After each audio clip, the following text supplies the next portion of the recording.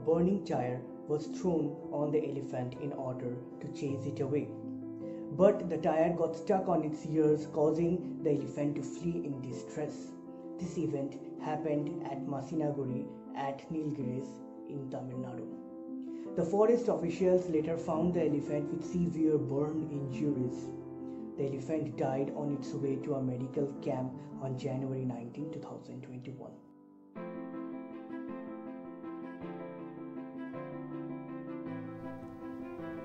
This is yet another incident that portrays Mother Earth as just a planet for humans. Where is this leading us? Shouldn't peaceful coexistence of elephants and humans be the motto? We witness countless acts of animal cruelty regularly, such as elephants getting killed on train tracks, falling into open pits, and yet we remain silent. Humans, we must realize that we need animals for our survival. All life on earth is deeply interconnected. It is a web of life. So let us get together, join our hands, paws, and trunks. So let's make this planet a home for everyone. It's time to rethink and save our planet. The earth is all we have in common. Every living being does one thing throughout their lifespan that is pause for a few seconds. Breathe in, breathe out. For centuries, our ancestors have been breathing in fresh air free of harmful gases. Ever since mankind invented automobiles, vehicular air pollution has become one of the major concerns across the globe, leaving a negative impact on Mother Earth. With air pollution on the rise, one can only dream about having fresh and free of dangerous gases air. With the urgent need to get immense and life taking air pollution under control, the government has come up with an innovative way to curb this pollution in today's world. Green tax. A green tax is imposed on the environmental polluting goods and activities to discourage people from this anti ecological behavior and also to make them sensitive towards the environment. It is also known as the environment tax, and the government of India has come up with several rules in this to curb pollution. The central government on 25th January has approved a plan to levy a green tax on old vehicles that are polluting the environment.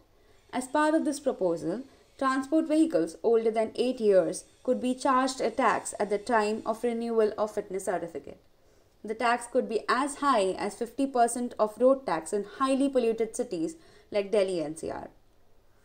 Transport Minister Nitin Gadkari also approved a policy of deregistration and scrapping of old vehicles owned by government departments and PSUs which are above 15 years. The policy will come into effect from April 1, 2022. Along with this, a broad scrappage policy for commercial vehicles is also awaited.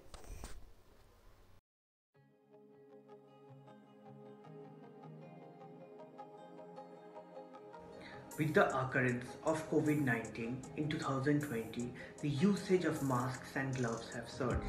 In order to protect oneself from this deadly disease, it was recommended to wear a mask to protect one's nostrils and one's mouth against the spread of this disease. Due to the frenzy brought in by the pandemic, people everywhere became extra protective and started the use of disposable surgical masks and surgical gloves. These masks and gloves are made out of materials such as polypropylene, which take over 500 years to degrade in the ocean.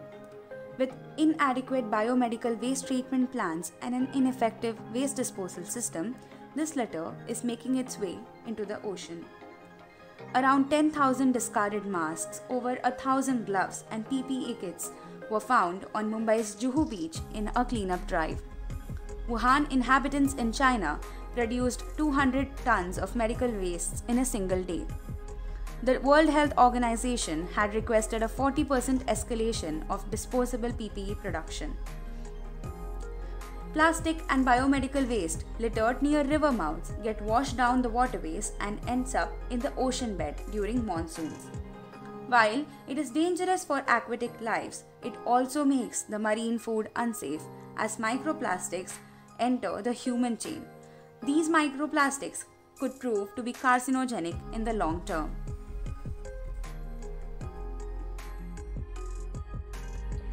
We need an urgent and coordinated commitment to approach this, including recycling practices and strict policies against plastic pollution. Putting these disposable and single use plastics to other use would help a great deal to rejuvenate our nature. And now we have something adorable for you. This is surely going to bring a smile to your faces. From the Smithsonian's National Zoo shows an adult giant panda, Mei Xiang, and Tian Tian going all out on the roly-poly snow day activities, sliding, somersaulting, and starfishing in the frosting that caked their Washington DC home.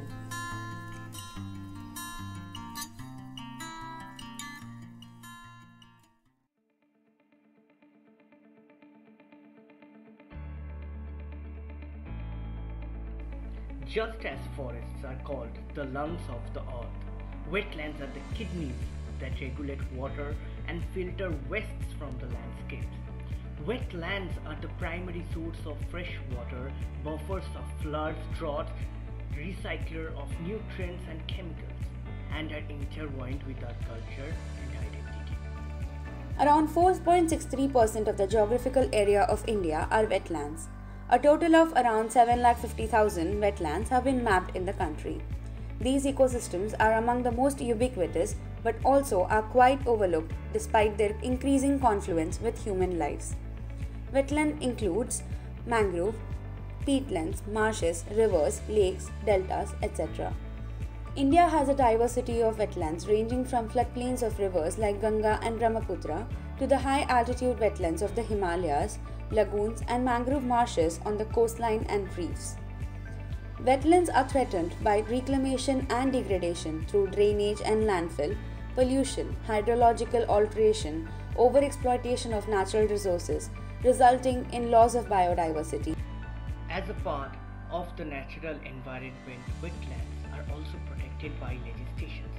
The fundamental duties of the citizens are listed in the Constitution of India that it shall be the duty of every citizen of India to protect and improve natural environment, including forests, lakes, rivers, wildlife, and have compassion